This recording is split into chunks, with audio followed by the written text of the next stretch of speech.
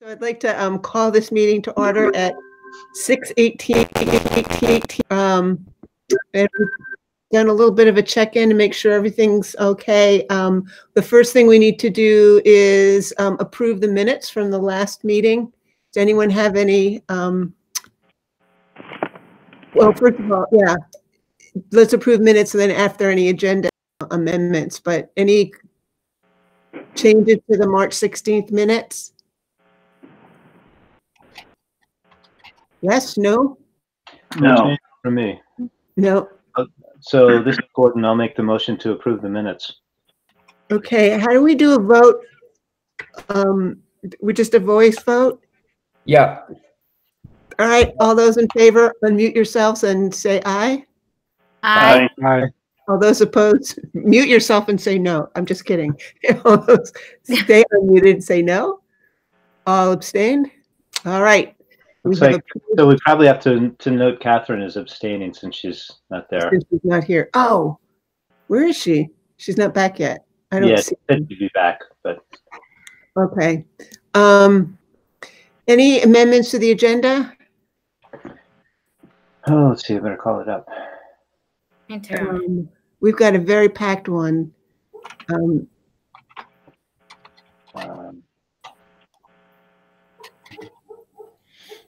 Shoot, you know, I had everything open on my drive, on my computer before, but I went and closed it all.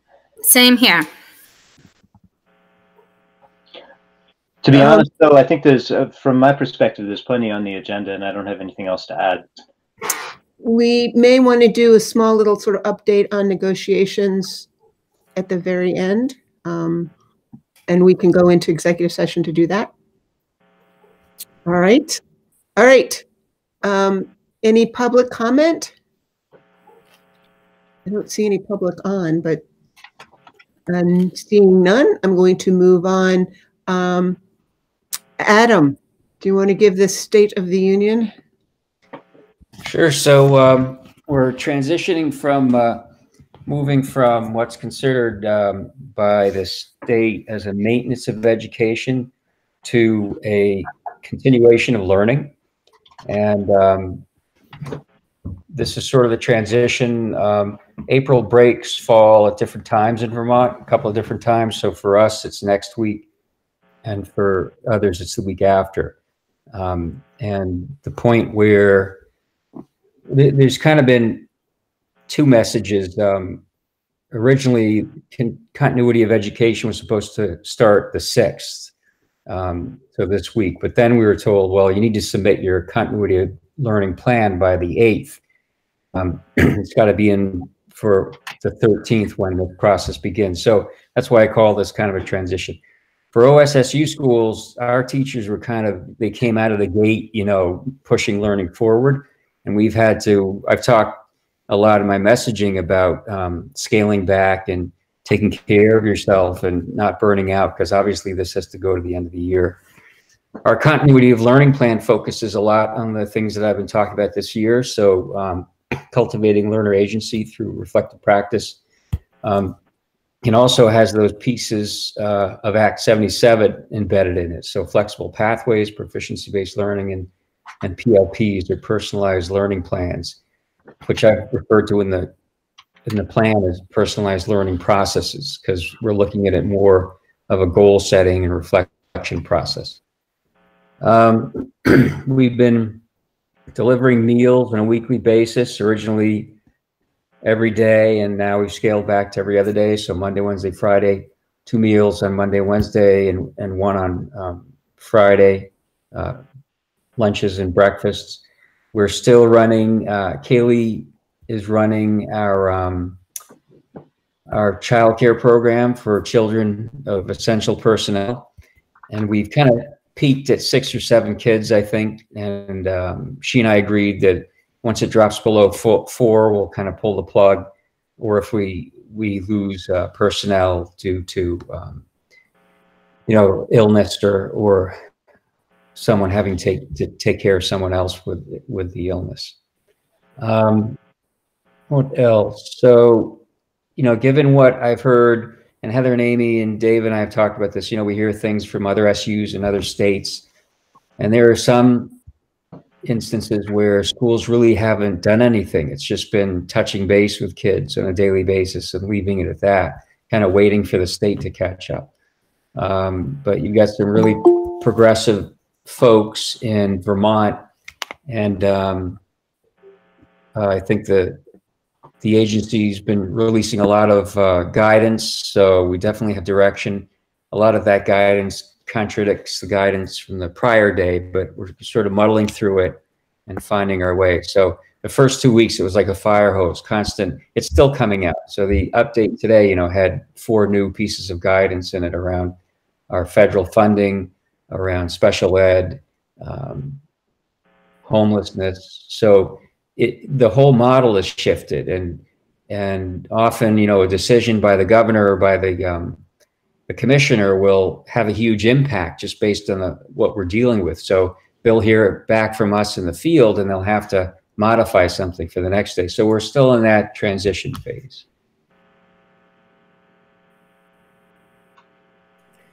Can I ask how the meal the meals are going in terms of oh wait, sorry, I'm just seeing this. You actually have it all planned out. I won't ask my question. That's okay. Yeah, we're up to about 400, I think, at this point, or last I checked, which was end of last week.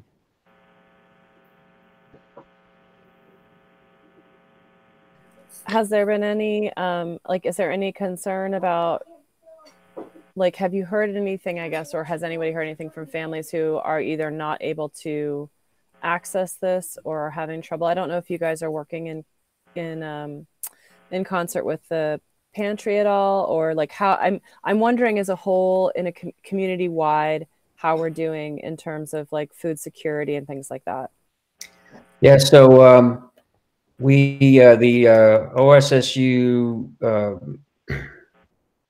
the um, coalition of partners met, and that's been the prime objective or concern uh, since this all began. Uh, what can partners do to to um, help support families? So we're brainstorming around that.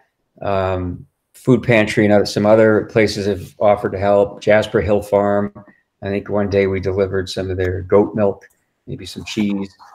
Um, but uh, we're able to access um, federal funds for um, summer meals. So at this point, we can feed anyone 18 or, or younger, um, both, both meals. So uh, there's a lot of guidance coming out too around um, using funds for uh, flexible, more flexibly than we have been able to in the past. Um, mostly federal dollars, but uh, it sounds like uh, people are doing okay. We've been working on internet connectivity that's become a statewide issue i'm seeing a lot of a lot of uh, buzz about that on the internet. Um, early on dave sent out a, uh, a survey and it ended up you know revealing that most people had connectivity but the range of that is pretty wide. So you know um, some people might be in a house with four people and the two adults, the parents are working, and the two kids are are learning, and everyone's online, and the bandwidth isn't uh, great enough. I think the biggest problem is uh, that what Dave's been referring to as the last mile. So those people where internet, they don't even have the option of purchasing. Um, so I've been in touch with the director of the Vermont Superintendents Association about that, and like I said, there's a lot of movement. I, actually, there's a story on VPR tonight, and we were cited on that. Um, but I think this is kind of an impetus for getting connectivity to that last mile. I, am surveying the principals this week, and uh, I spoke to um, Craig Wilson and Justine Guthrie this morning, and they. It sounds like most principals were out of the gate with two weeks worth of packets and now we're transitioning from those packets into more of this online learning. And each of them really only identified one family each that didn't have connectivity, maybe another who has spotty connectivity, but um, it's looking pretty good so far. Um, I did get a few comments back after I sent out the message about attendance. I think parents were concerned that they would have to be checking in, but you know they're working, and I assured them no, it's the teacher, the student connecting via phone if you don't have internet or email. Um, so.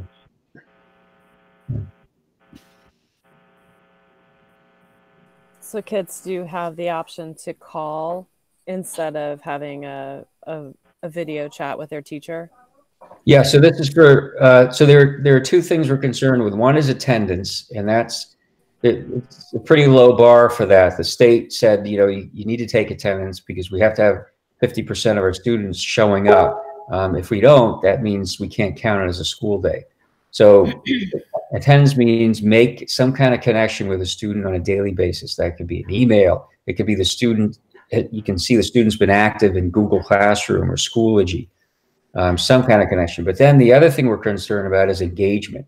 It's one thing to say, yeah, I'm here, and then see you later. But are, are kids, um, you know, involved in learning? And and schools are finding their way ways to collect that data as well. Uh, and each school is doing it a slightly different fashion. But that's something we're very concerned about. Is there going to be any required formal assessment process done at the end of the school year? I was just talking with, oh, what kind of, uh, like, like final exams for a high schooler, you mean? Or, yeah, or any way of sort of indicating what this period, what their Yeah. proficiencies are and Yep. So that's the next piece, and that's part of our continuity of learning plan. Um, Justine and, and Craig and I were talking about that this morning too. Assessment being sort of that next piece. Uh, we want to move kids toward a project-based, personalized model, like we were doing at you know before this all started. Uh, but even in that model, in, the, in a conventional sense, you know, what does assessment look like? It's one thing to say, sure, you can target your math proficiency by measuring out uh, your backyard for a garden or whatever. But but when do we assess what the students learned and what does that assessment look like? So these are, are questions I think that we're going to be getting into. And and what I'm telling teachers is, you know, we have this plan, but you're not expected to suddenly um, give up all you've been doing and adopt everything in the plan. That that would be impossible. This is sort of a vision of where we're going, and you need to find your own entry point into that. Or maybe the school decides as a collective, well, we're going to start doing this piece. Um, so I want, you know, I think that's very important. Um, yeah. Has there been any? I, I realize it's early April, so I know this is an early time to ask it, but has there been any conversation about? Because I know that there's been rumblings or rumors or whatever about if this is a seasonal thing and we don't have a vaccination and we have to go sort of back into quarantine at some point next year has there been any like sort of long-term talk yet or is that it's totally fine if that's not quite where people are yet but i'm just curious Yeah, sure. So we've been told that we be getting information and guidance about the end of the year by May 8th. So by May 8th, we should have some direction from the state. Uh, and they're anticipating the peak of this, you know, the surge being late April, early May, maybe. So there really hasn't been any talk about that. Um, but my sense is we'll get further guidance uh, sometime around the beginning of May when they can sort of get a better sense of where we are. Um, I think uh, if you listen to the, uh, was the governor on today or was it yesterday? All the days are blending. Yeah, today's Monday. It was today. So he was talking about um, how they're anticipating the surge, although the social distancing is really working. Um, and, and, and you'll hear that even on um, NPR, you know, across the country, I think they're, and they're looking at the data from China, you know, and um, I think the mistake some of these other countries made, according to what they were saying, is that they came out of the social distancing too early once that peak had passed and they hit another bump uh, where the cases started rising again. So that's a great question.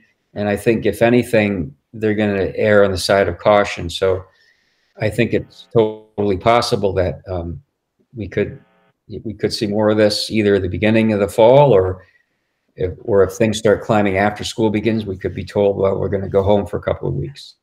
But at least we will have done it. We will have had two and a half, three months of practice. thank you Yep. anything else, Adam? I just want to, you know, really give kudos to teachers. Um, like I said, just uh, uh, you know, we hear stuff, and and I think, um, and and you know, I see the emails go back and forth. I'm on the the um, email lists, and just a lot of support for uh, sharing of strategies, um, sharing of videos for kids to say we miss you, and um, uh, it's really amazing. And same with the principals and the central office directors. Just you know, I've never they they never skipped a beat. There's there's never a point where they're throwing up their arms and saying, "Well, how do we do this?" Uh, each one has attacked it in their own way uh, at their own school, and really, um, I don't think that would have been possible unless you hadn't had these relationships, these these strong school cultures already built, and and we're sort of cashing in on that now. You know, um, and each school is moving forward, and the directors have been amazing. You know, Dave was talking about the number of tickets, the percentage has just increased um, astronomically. So we're talking about how he and his team are managing that. Heather is dealing with, um, you know, guidance after guidance each day on on SPED, and that's really one of the big question marks still hanging out there. Um, Amy's dealing with, you know, trying to set people up so that they can learn from each other. Um, how do we take care of that pre-K two element that I talked about earlier? Um, you know, just a, a, a real, real co cohesive collective attacking the problem head on. So, Adam, would it help if we, the OSSU board, sent um, a letter of gratitude out to the faculty and the administrators and staff? That'd be great. It just, um, yeah, it's you're there. Suddenly, everyone's job description has changed. Mm -hmm. uh, it's um, it's a lot to deal with, and uh, could I mean it, it is anxiety provoking, and people are stressed, but but they're dealing. But I think that'd be a great gesture, and people would appreciate it. Yeah. So, when other people weigh in, do you think that we should do that? Sure, I think that sounds really positive. I think um, just from here, it, it sounds, um, I'm hearing a lot of what Adam is saying and just the um, incredible work that other that teachers are putting in and the new and interesting and dynamic ways that teachers are connecting with their, their kids. And the level of collaboration among teachers is, is has risen and just a lot of really positive things. So I, I, I would be on board with that. I think that recognition goes a long way because sometimes i think it can feel even with all the meetings and zoom and whatnot that you're still in this funny bubble in your house Right. So um, can other weigh in because I was my proposal was going to be that let me craft something, let me send it to Rose to kind of look at, or send it around to folks to look at, and then yeah. give a thumbs up or thumbs down. Yes, no. yeah, Amy, I think that's right. Um, post it on Google Docs, and we can all make suggested okay. edits. Okay. That sounds good to me. Is it something you would send to the newspaper or something that um, you'd send individually? How are you planning to um, do this appreciation? Um, I would send it out to the teachers through, I mean, we, I would send it from the OSSU board to all of the teachers and staff, to all staff, I guess. I mean, not just teachers, but administrators and you folks that are on this call and everybody else just to let everyone know we really we're paying attention and we know that this is really above and beyond and we appreciate it. And what if someone leaked it to the newspaper? What if someone did? I can send it to the newspaper as well. But let's I mean, get it written and get some feedback yeah, and, yeah. i think it would be i think that in some ways it would be really good to have a public recognition so mm-hmm. that i mean i think that you know the osued was trying to we were supposed to be doing this big like teacher thing at all the three different schools and i'm sort of struggling as to how to uh, still show our appreciation for what mm-hmm. they're doing especially in this like really big time where we can't go and like give them pastries yeah. so it, i think that it would be great if uh, something large came So here's the thing, because not all of our teachers would get the Hardwick Gazette, I would think we should send it to them from us as an individual email, and then we can sort of put something in the paper as well um, to say we have this has been gone out to all teachers, but we want the community to know how much we appreciate what they're doing and how grateful we are because you know our teachers are also parents, by the way. Rose Yeah. sitting there, and that they've got other responsibilities, and we want to acknowledge that and and share. Well, and the Hardwick Gazette is kind of on on shaky ground anyway. Oh So yeah. So I saw. Yeah. Oof. Okie dokie. Shall we um move on? Any more questions for Adam? Just, uh, I was just going to say about the Gazette, um, I, it would be really interesting um, to have some high school students do some maybe guest editorials where they could report from the front lines of what it's been like for them to transition to being um, online learners. And um, I, I don't know which high school classes have journalism cl- courses. I'm not that familiar with the with the curriculum, but I think that would be really interesting. Mm, Hazen does. I know, is this Craftsbury? I'm not sure. Okay. Cool. Um, one other item, Adam, I was curious uh, how the GoGuardian uh, implementation is going. Mentioned a huge increase in tickets, and you're kind of configuring things. Yeah, we haven't um, we haven't implemented that yet. Dave, are you still here? I'm still here. Yeah, well, we Yeah, have we have kind of implemented it. We're using Securely and GoGuardian both right now because we're still on the trial, and I just had them extend the trial. We just got the paperwork from MLC. I gotta finish, go over that, make sure everything's all set. We'll get that along next week, and we'll be good to go. Um, it's much better than what we had before, and it, it it's really working good. And we're fortunate because we had devices going home a lot of these schools didn't have devices going home, so they have no idea how to do content filtering remotely. So we were way ahead of the curve that way too. And is that where most of the tickets are coming from, Dave?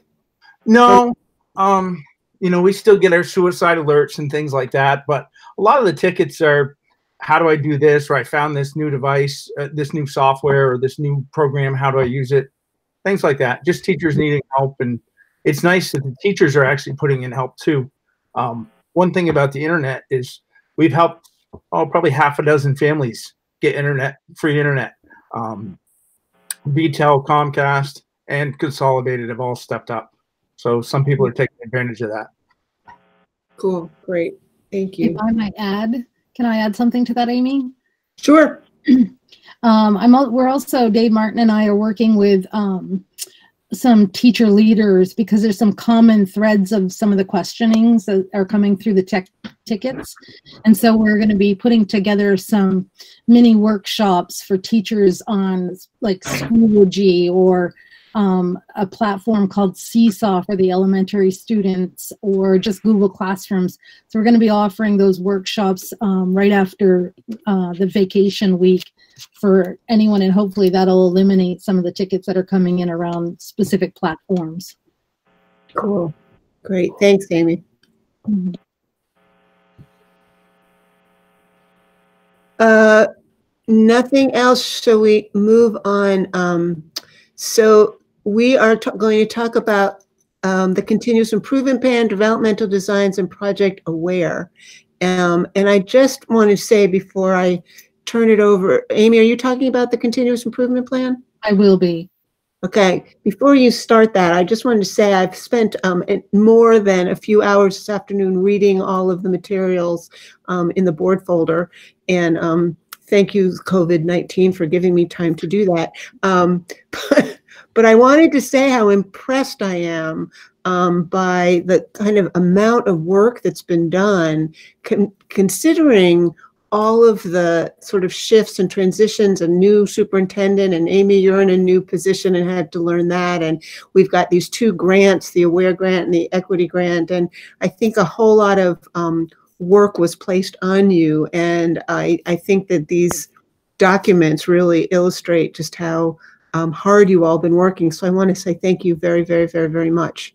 So I'm going to tee you up. Amy, you wanted to go and give us something on that? SIP? Sure, I'll start with the continuous improvement plan. So this is done yearly. um, it's a requirement uh, by the AOE.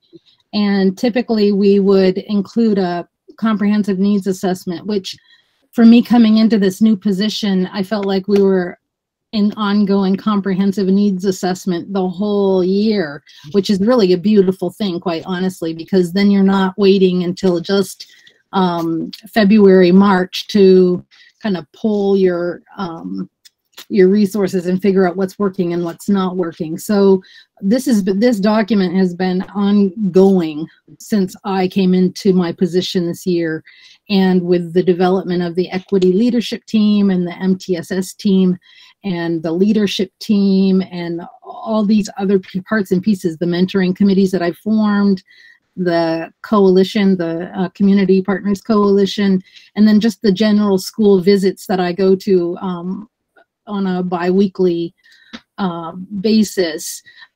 What I felt this document needs to be, uh, it's a little different than ones in the past. So if you've read OSSU SIPs in the past, they um, have tended to be um, a bunch of, of general data and then maybe a, a couple change ideas. And I really believe, I feel strongly that our continuous improvement plan needs to really reflect how everything ties together and that it's not just a couple things that we're working on and change. We're working on lots of things, and I really feel strongly that it needs to be comprehensive and laid out in this plan. So um, I've tried to encompass everything that we're working on. I read through it again today because I've been working on this for um, several weeks now, and I, I, even picked up on a few things I think that maybe it's a little light on. So I was really looking for some feedback from you folks on what makes sense, what doesn't make sense, what are we missing.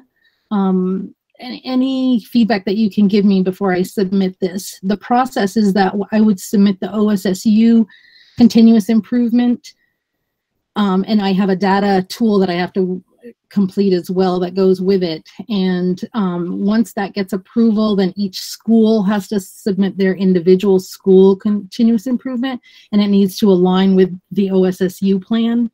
Mm-hmm. Um, and then when all of those things are approved, then I can write investments for the next year's uh, uh, consolidated grant. So it's kind of uh, the next few months, all my a lot of my work will be, really be focusing on what are we doing, where are our needs, where are our strengths, and what do I need to build into this uh, consolidated grant for next year. So that's kind of the process one thing that you probably noticed as you read through it is that the data is very light in this report. And that in part is um, a couple of things. For one, SBAC data at the state level hasn't been disaggregated yet. So that means that I can't, there's no way for me to look at it um, collectively for OSSU right now in different uh, categories which we typically would break that down. So I'm hoping that the data manager and I can go in and try to figure that out on our own because I have a feeling the state's not going to focus on that right away. Mm-hmm. Um, also, we had our field review back in November, I think you'll remember. They sent us a report um, there were some things in that that Adam and I felt we really needed to um, address with them before we would allow it to be finalized, and we haven't gotten a finalized report back from that yet. So we are waiting on some data, um, which makes it really hard. I'm, I'm mm-hmm. thankful that I went through an ongoing process because I think we I had a lot of anecdotal data, but not a lot of hard data to support some of these things. Um, and then the other piece is that, you know, in writing this, it came at a time when we were in transition for a data manager.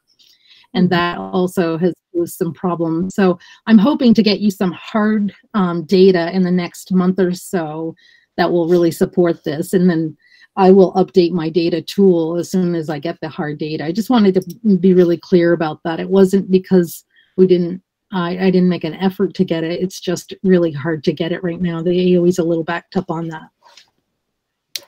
But um, really, what I was hoping for today was just any feedback or uh, questions that you might have regarding this. I don't know if people all had a chance to look through it.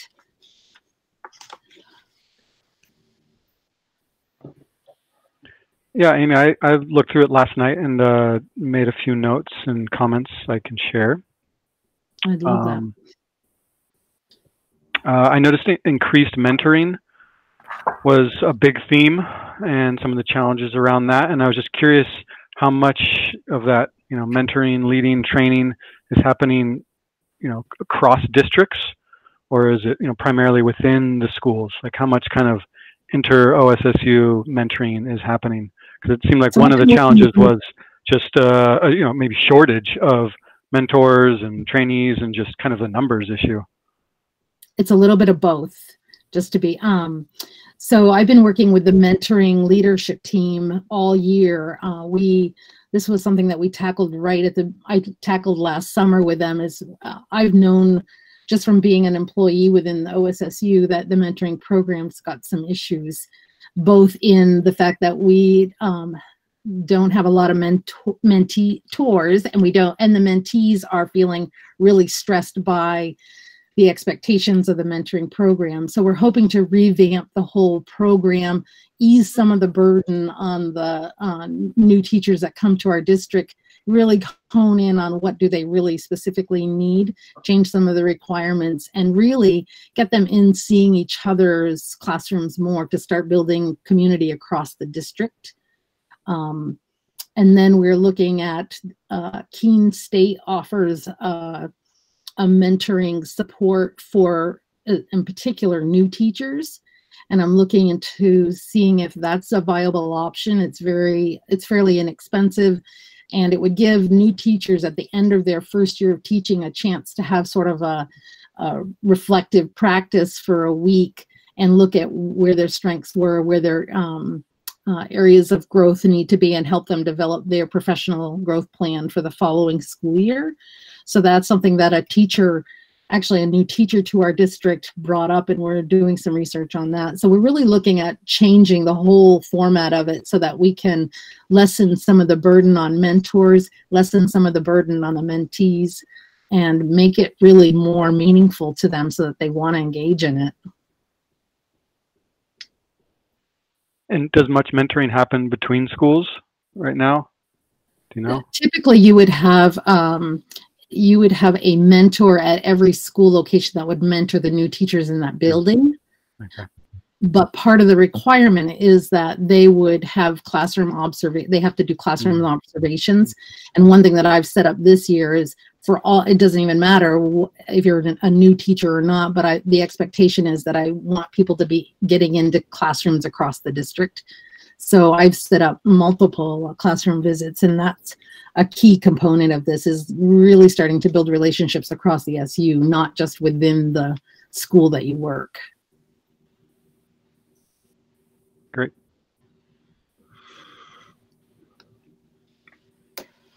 I had uh, another one. I don't, don't want to hog the time, so uh, don't let me do that, everyone. Um, there were a few references also to maybe an increased use of consultants, which is an interesting idea. Me being one, I, I probably like that idea, but I was just curious how much, uh, not an education consultant, I, I'm not. Uh, Mhm. but I was just curious how much do we utilize consultants now for some of these kind of longer term, you know, planning um, exercises you were talking about? Is that something we do at all, or is that, um, yeah, what, what do we do now with consultants? Uh, pri- primarily, we have literacy consultants. So we hire experts in the field to come and work with schools specifically or teachers specifically, depending on what the need is. So it's really school by school driven right now.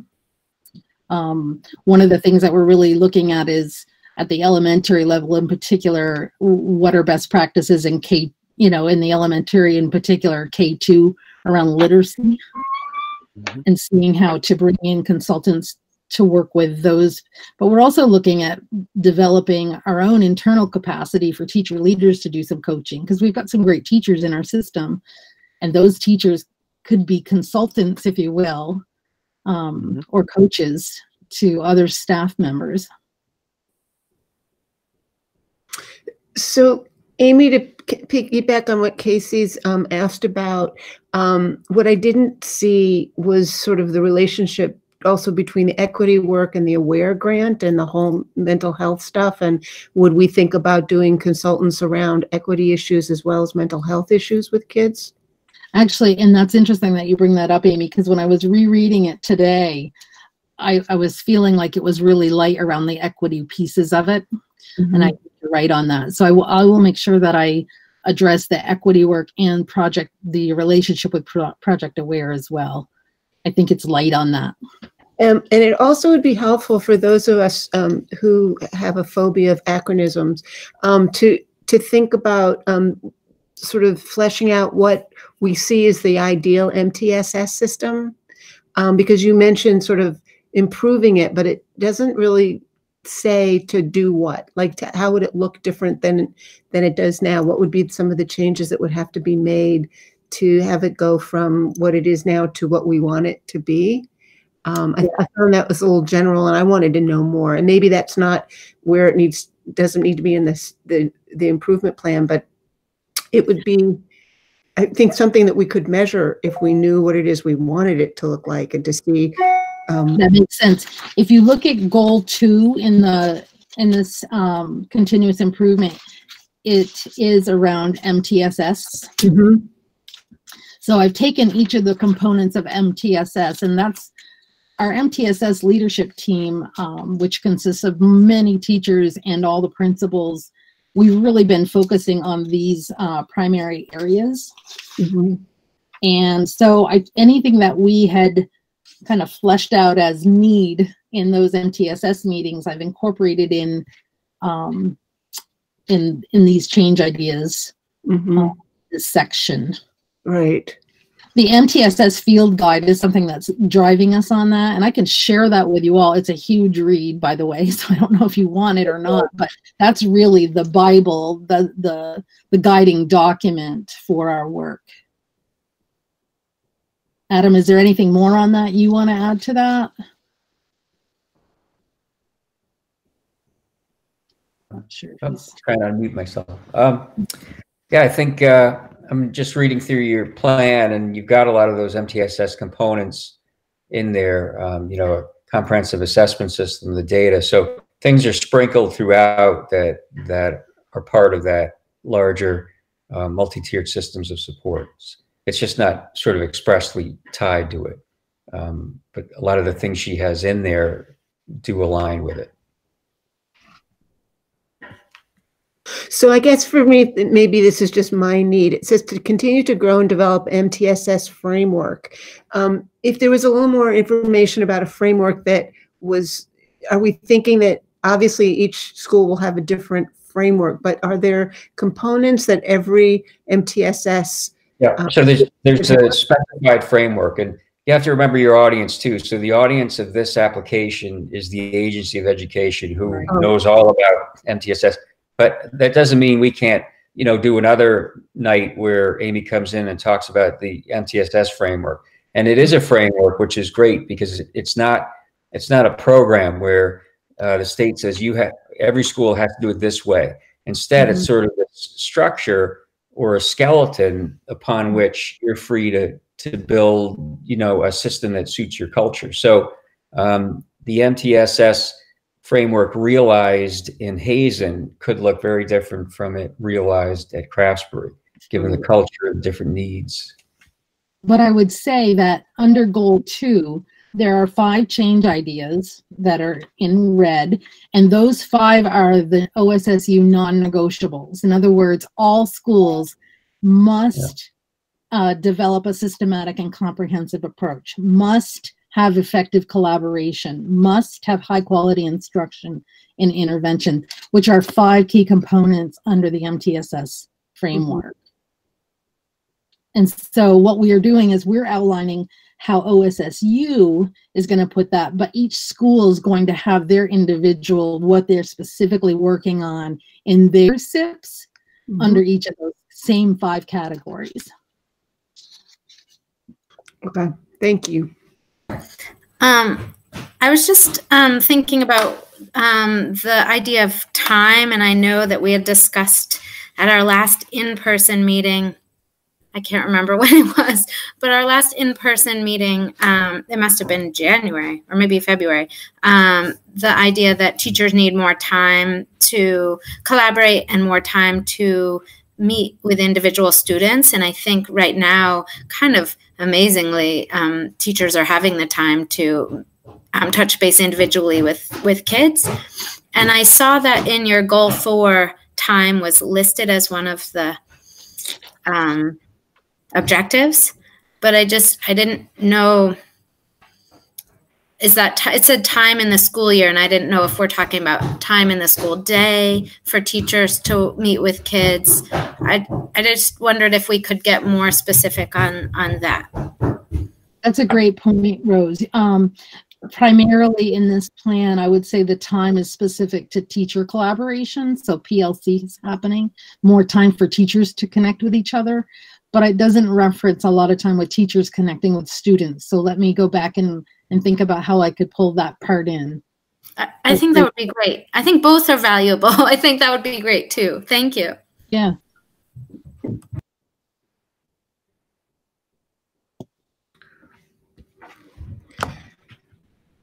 Any other comments? Uh, not- yeah, I think I had uh, one or two more, Casey here. Um, I noticed there were um, no funding sources listed. That's a tricky one. Do you tend to think that these items can be funded from, you know, like our conventional, how we fund, you know, most of the school programs, or are you thinking these are, you know, primarily funded by grants? And then second part to that, um, you know, maybe if sources are hard to come by, maybe putting dollar amounts, you know, next to some of these just to get, you know, just to kind of start estimating like what is this what does this cost to you know fund this activity Good noticing. Yeah, typically, um, many things in this document will be funded by the grants. So it is uh, uh, the bulk of, um, but not not in its entirety. There will be things that will be funded by uh, Project Aware. There'll be things that are be funded at the local level because it can't all come from the grant for sure. So um, I think it was just getting things outlined and figuring out what our priorities were, and then the next piece would be how are we going to fund it. So that will be a piece that I put in here. When we put it in for the AOE, we really just have to list it very generically. Like I can, under any one goal, I could list three or four funding sources that we're considering for paying for anything that might be needed in here. And then the partner document to this is the CFP, the Consolidated Funds Program application. And in it, Amy will be doing a lot of work where she specifies um, how much an investment costs, not just um, the full cost, but if it's personnel, for example, she'll have to put whatever stipend or salary, and then in a se- totally separate area, the benefits. I mean, breaking it all out, um, and that informs uh, IV, our financial software, so we can keep track of it all. But but that's where all the details um, for the specific amounts go. gotcha. Great. Uh, last question i had was uh, this was i think under parent engagement. Um, athletics can be a great gateway. Um, just especially talking about you know cross-cutting groups in the community it's just something that brings together uh, a diverse group. So um, Great point. athletics I was looking at um, the parent involvement goal number three, and I'm wondering, is there um, a title like goal three? It it just doesn't have like the other one says school or culture, and the other one says academic. What is goal three's Parent community partner engagement. parent community partner engagement? Okay, thanks. Yep.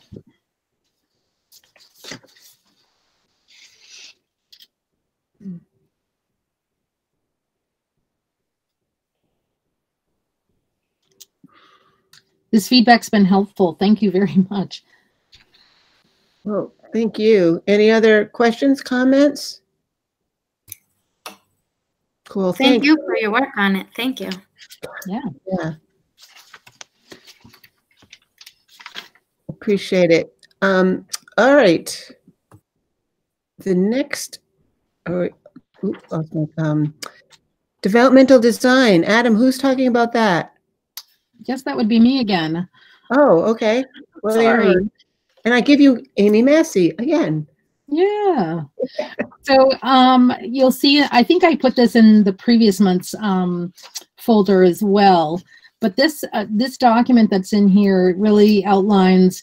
Um, there are links to all the different levels, but I wanted you to just kind of get a sense of generally what developmental designs is, and then at elementary, middle, and high school how they can support um, our PBIS, our universal um, uh, instruction around both academics and uh, climate and social emotional learning. So, um, in general, this develop we when we met with developmental designs, they were one of two uh, partnerships that were presenting regarding how they could support us. Um, it was if you look at the second part of this document, you'll see some of the notes that administrators took um, regarding how it connects. So what we had done as administrators is kind of said, what do we want in an SEL program? How will it support us SU wide? And really try to listen carefully for how it supported some of our big, bigger ticket ideas.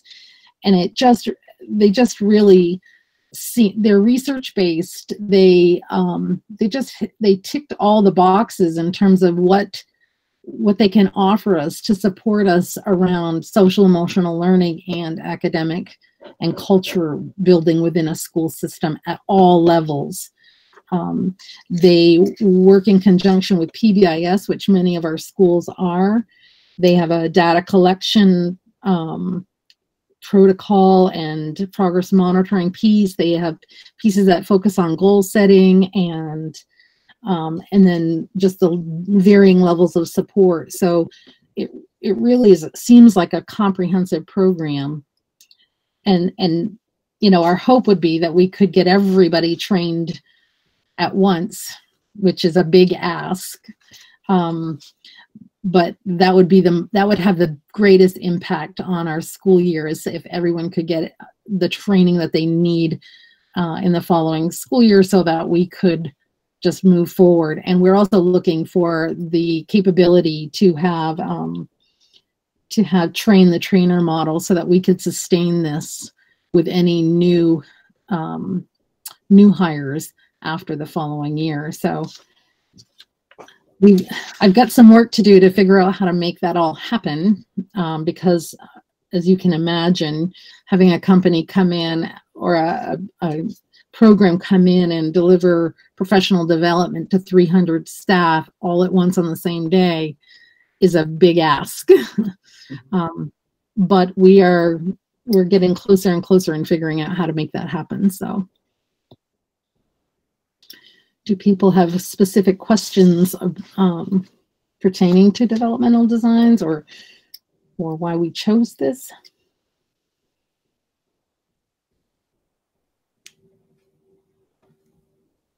So developmental design is the name of a company or is the name of an approach or what? It's the name of a an approach. A, pr- a pr- I don't know if it's a program. I wouldn't. Adam, would you say it's a program? I'd say probably approach. An approach, yeah. And th- is there a particular company that provides the training on this approach? And they're, they are called what? uh, or I think it's called Origins, or is the name of their sort of company. They um, they came to light a, a person who once was a responsive classroom um, trainer, kind of went out on their own and did some research and really, uh, I think, created a really dynamic and an evolving um, business around this. They really rely they update their information on a regular basis. And so i think as times are changing their their approaches their strategies that they're empl- uh, employing with staff are changing as well. And i think Yeah, that's what really impressed us the most Yeah, developmental, or sorry, um, responsive classroom was sort of the original. Um, but our assessment was they kind of remained a little static.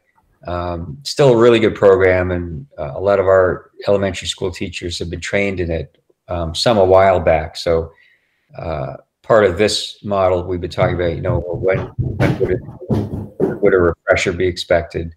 Uh, maybe every three years, people go through a refresher workshop. And what's the And cost? do- Oh, sorry. Go ahead, go ahead, Rose. I was just wondering, do we have teachers who are already trained in it or who have already been to these conferences or been to these sessions or have um, studied it as part of their master's programs or? um, Yeah, perhaps- the Hazen uh, middle school team.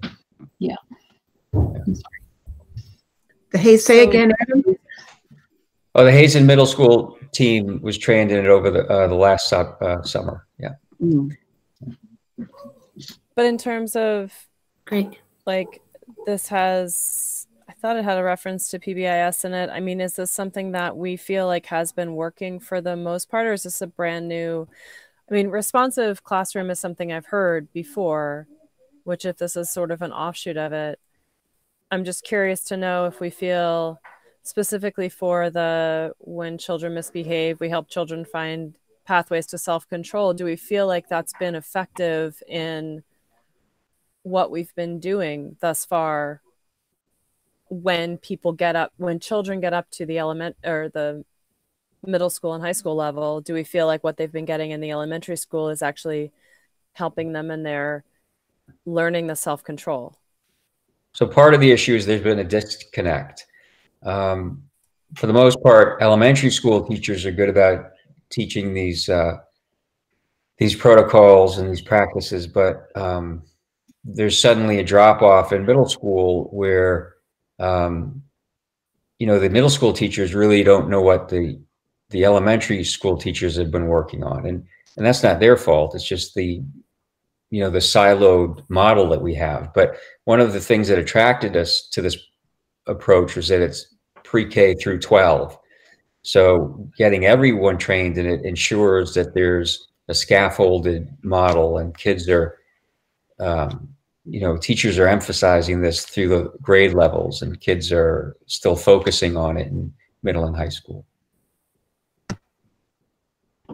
I think it will also, this program better complements the PBIS approach and it will actually maybe strengthen the PBIS systems that schools have in place already um, because it relies heavily on that universal level instruction. So all kids are expected to have universal instruction, which is the same as PBIS, but it's really, um, I think it's it's it's so much a critical part of what developmental designs strategies and and approaches bring is that we focus on it and we we keep revisiting that. We do the reteaching. We have the the layer the teaching the tiers of instruction and supports um, and it builds off from the same a lot of the same um, premises of pbis but i think pbis maybe is a little um, has, has kind of faded away a bit in some of the schools. So I'm hoping that this will kind of bring that back and kind of bolster both programs at the same time.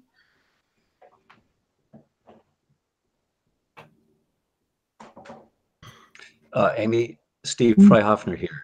Yeah. Uh, I'm- I'm looking at the uh, first page on the high school column. And the last paragraph under the uh, highlighted promoting proactive social and emotional agency, there is the word antidote. I guess I'm not quite sure what that word means in the context of that paragraph. Can you explain that? Um, you know, I'm not sure that I can, Steve. Um, I, I would also encourage you maybe to, at the top where it says high school, to click on the link there, and that would actually bring us right into high, the high school developmental designs uh, approach. All right, I'll do Um, that. I don't know if that'll answer your question. I'm sorry, I don't know. You know, I'll be learning this right along with everyone. um, I'm this is not an approach that I'm from like that I've been engaged in um, prior either. So All right, I just want to explain the reason I'm asking is because Yeah. the sentence reads what it does in the highlighted part. Yep. Promoting proactive social and emotional agency for all high school students as a necessary antidote for future achievements uh, of their goals. Do you, do we really want an antidote for hmm, that accomplishment? I don't think so. Probably used. Maybe, maybe you mean antecedent. Hmm. So I don't know how this, who wrote this, but I think maybe the choice of words there could make a difference. yeah. Um, I did not write it. I took it right from the high school page, so I can go back on and try to find that. Okay, if, if you, if you do look at that, maybe antecedent would be more Yeah. appropriate. Yeah, Would that make more sense there, you think? I think it could. I think somebody somebody had COVID on the brain. And they're- they're. There's been a lot of things on the brain lately. Even it's very likely that I could have made a mistake. we all need an antidote, so maybe it was that.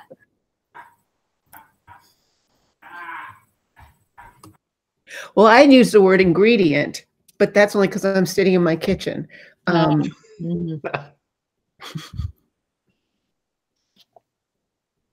so I'm going to ask my question: How much does a, a, a training course cost? I can't believe I'm asking the money question, but So, um, you know, it's actually in the scope of things. Um, I think it's going to average out to be about nine hundred dollars per teacher for a year's worth of training and coaching, right. or not just teacher. I'm sorry, staff member, because we're looking at getting um, support staff also trained in this. That means using uh, all four of our in-service days in addition to uh, coaching uh, outside of those days. And is it the kind of thing where some people could get trained and then those people train other people, or does every single person um, attend the original training? Just to Everybody just gets training, the same training at different levels. So elementary, middle, and high school, everybody gets that training. And then as um, they're doing, so they would, they also come in and do some observations of people implementation of it. And in right in that first visit, they're hoping to identify staff that would make good candidates for um, train the trainer coaches for future coaching and they want to identify those right away. And then those individuals, if willing, would get a little more in depth training so that they could know how to train the trainer. Yep. They I felt just had that it wasn't just us choosing who those um, teacher leaders would be, though. They really wanted to put their expert eyes on it and look for key components that they look for um, and and I, I think that's a really wise model that Yeah. together we collaborate to figure out who are our best people to be moving this forward. I just had one more question. Um, do we know other local schools that have already implemented developmental design? And could we have, I mean, not right now, but could we at some point have um, visits where our teachers got to see um, see this in action in a in a local school? That's a great question. Um, you know, I think Justine Guthrie, the principal at Lakeview, really is a huge advocate of this. And I think the school that she was at, which is Barre City, I think, I forget where she was, um, is was using this approach as well. So I think we could easily, I think that's a great idea, by the way, to tap into schools that are using it. And I would ha- happily set up visits so that we could also see teachers at other schools implementing the same thing. So I think that's a great. helped bring this to Rutland, so we can um, go down there as well. Um, There are a number of schools in the Rutland area. I've already talked to folks about visiting them. Great.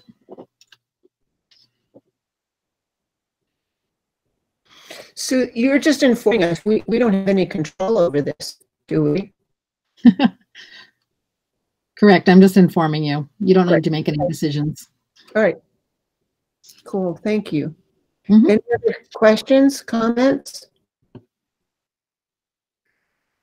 Thanks, Amy, appreciate it.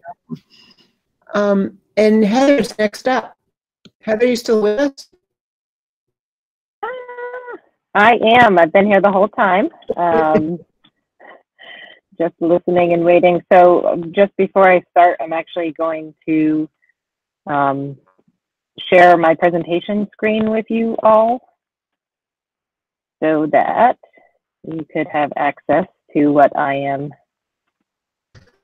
talking about.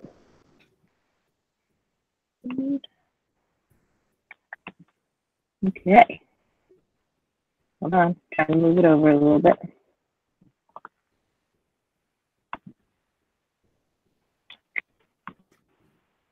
Okay, can folks see the Vermont Project Aware page? Yep. Great. So first of all, I just want to say thanks for inviting me to share about the Project Aware grant. Um, keep in mind, this is a partnership between Vermont Agency of Education Services and the Department of Mental Health. So this is not a grant that OSSU actively sought. This was a grant that was sought um, on our behalf. So, what AWARE?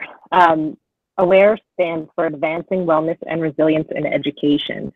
And um, the anecdotal story to this is that in about May of two, it was April or May of 2018, my colleague at Lamoille County Mental Health called me and said, Hey, you know, we work really well together. We both have similar goals and, um, you know, hopes and wishes for our, our families and our communities and our students. And, you know, would you be willing to partner on a grant with us? And I was like, yeah, well, of course. Why wouldn't I? And, uh, she said, well, it's not really us. It's really the Agency of Education and the Department of Mental Health.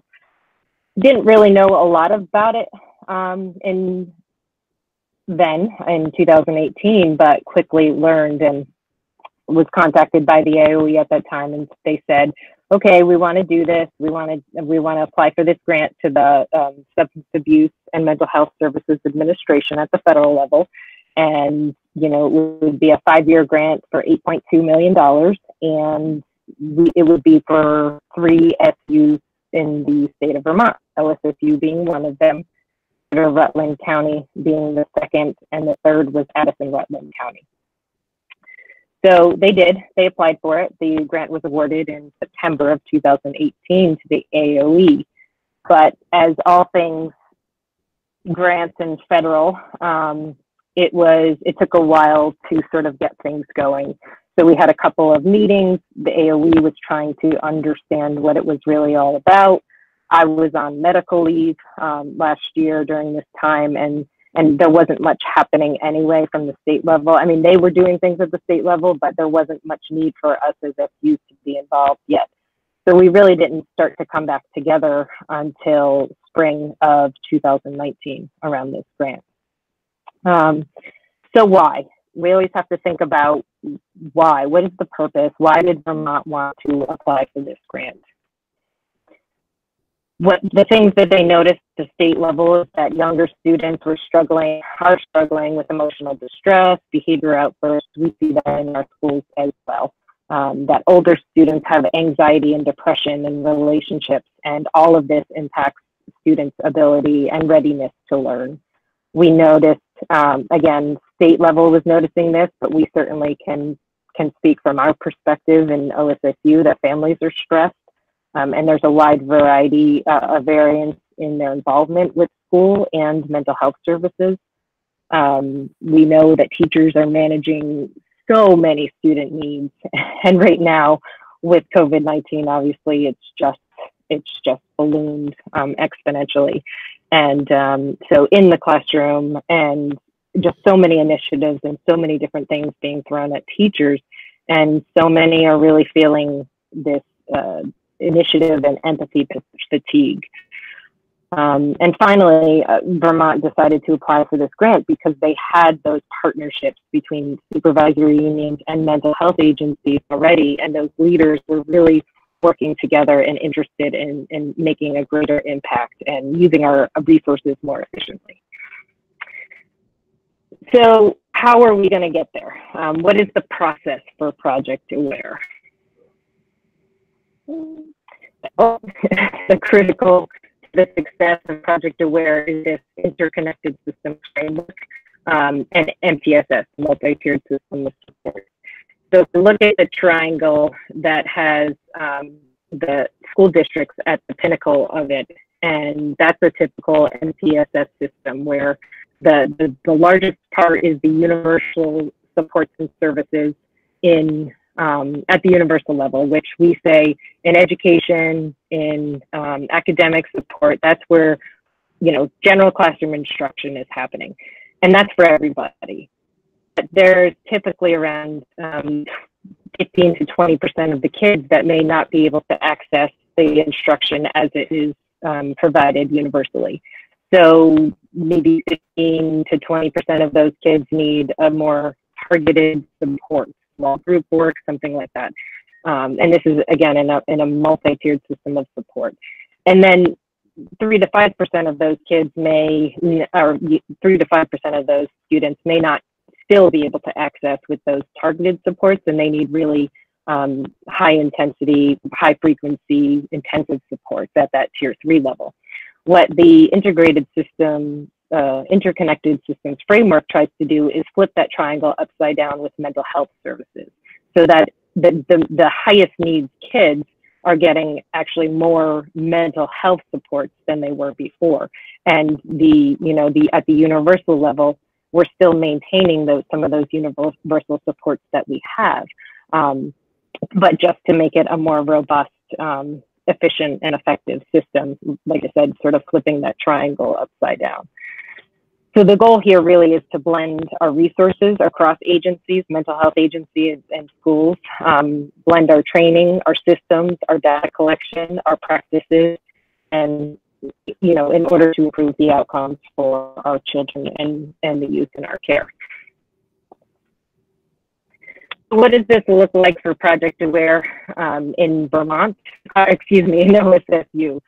So in February of 2019, when we finally started to come back together, they had said, you know, we got the grant, but you need to pick a pilot school. Your pilot school has to be a PBIS school already because PBIS is a ten, you know an essential tenet of the interconnected system framework. Um, we were told we had to submit our first year budget and proposal in April of 2019. So we pulled together a group of stakeholders um, that we said, okay, we have this grant opportunity. We don't know a lot about it, but we'd like to pull you all together hard with our pilot school.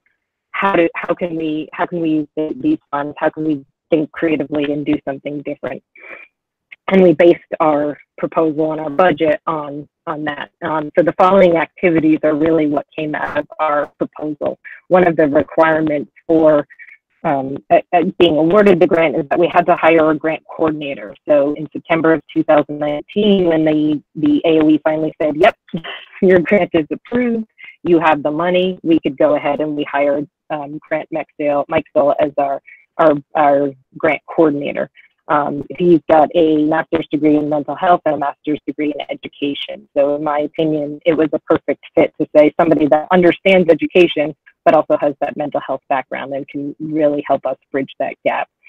Um, the other sort of have to with this grant is that we have to contract with our designated agency, which is Lamoille County Mental Health, and um, hire an, a project aware clinician because the funding and how we can use the funding has been so tricky and because of Department of Mental Health funding stream, it's been really complicated to hire that role. Um, mental health clinicians currently very well, um, and it was it's it, it's a lot of trying to navigate that piece and trying to figure out making sure we have the right person for this position.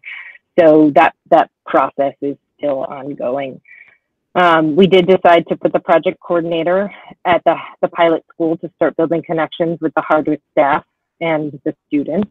um, that person has also been, Grant has also been building relationships with the Project Aware core team, as well as all the school staff and teachers, and offering supports and services. Um, he has also been participating in the local interagency networking team meetings, which are Lamoille Valley um, network meetings, which has, is a, again a community of partners that work together to you know look at housing for individuals in Lamoille Valley, food insecurity, um, the great overall system of care, mental health issues, and to sort of like um, issues across the Lamoille Valley.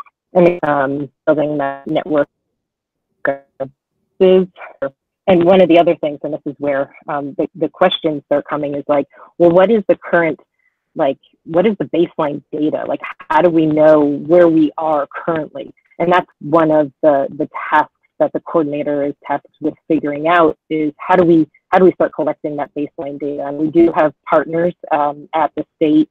The state, we don't get that whole $82 million. We only get a fraction of that split between the three SUs because the state has in, in, um, uh, enlisted vendors to actually do some of that data collection with us and for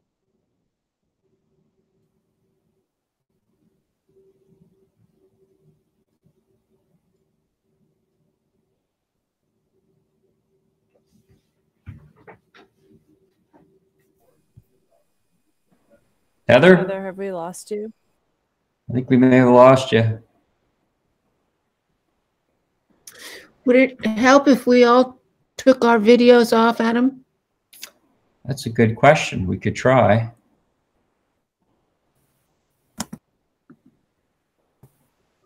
Can you hear me now? Yeah. Can you hear me now? Okay. Yes. Yeah, much better.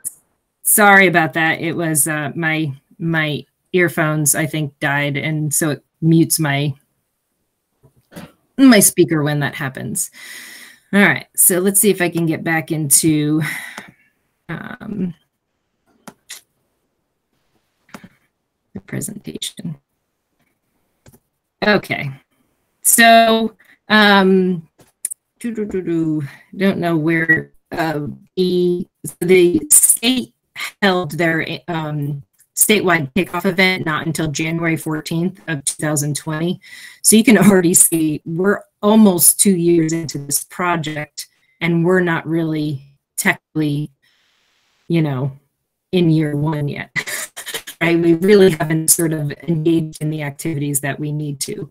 Um, so the 14th of January was the statewide kickoff event, which 14 of our, our partners and our staff from OSSU attended.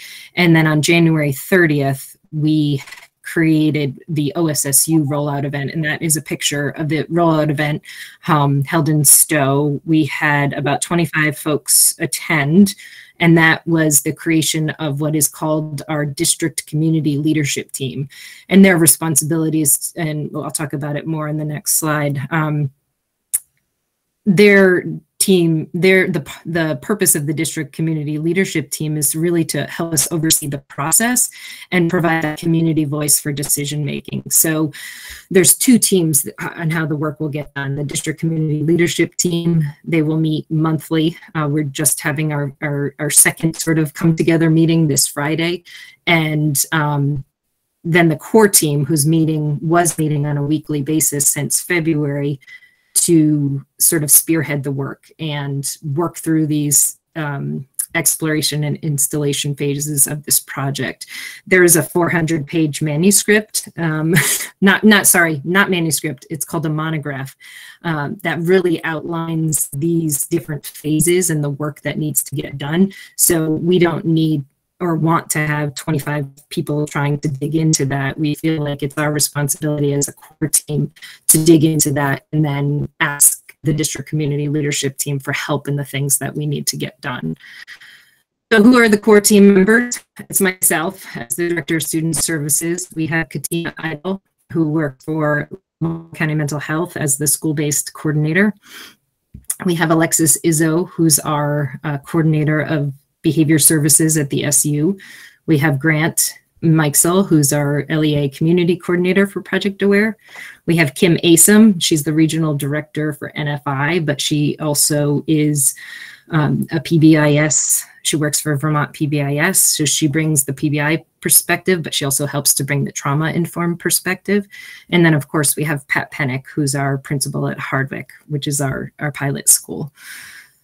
So that's sort of the direction that we're moving in right before the school closures. the, the core team was really excited to start moving into the installation phase, which means doing the in initiative inventory and the staff utilization review. And these are, again, tools that are provided to us by Midwest PBIS and sort of help drive this work. Um, now that schools are closed, it's going to make it more challenging, but it doesn't mean the work is going to go away. We're we're committed. We've met um, two times now since school closures, and we've said like this work has to continue. And now, probably more than ever, it's really critical that we figure out how to do things differently because we really need to make sure that we're we're meeting the needs. Um, and I think things are only going to get more difficult for kids and families as we become. We have to stay more isolated, and the the team agrees.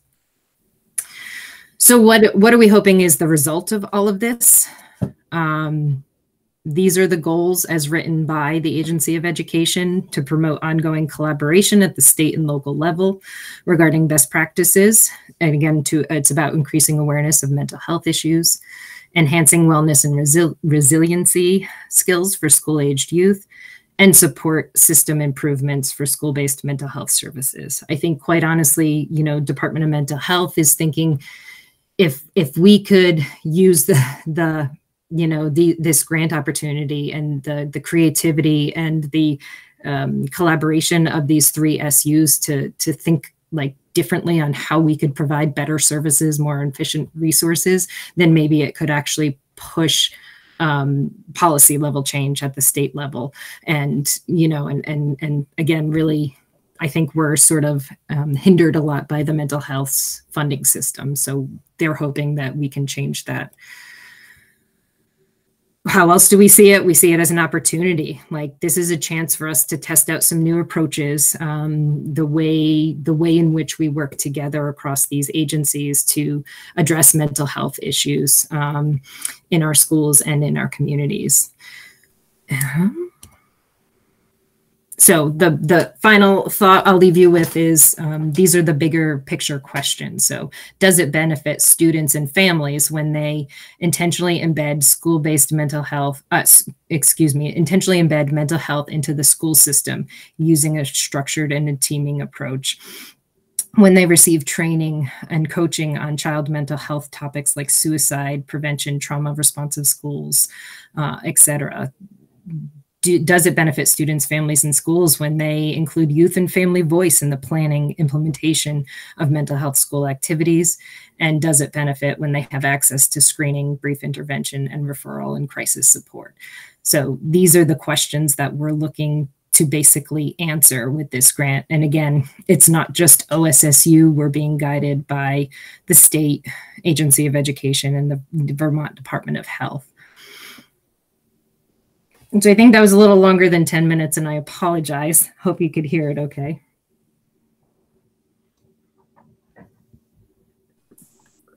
Cool. Anybody have any questions?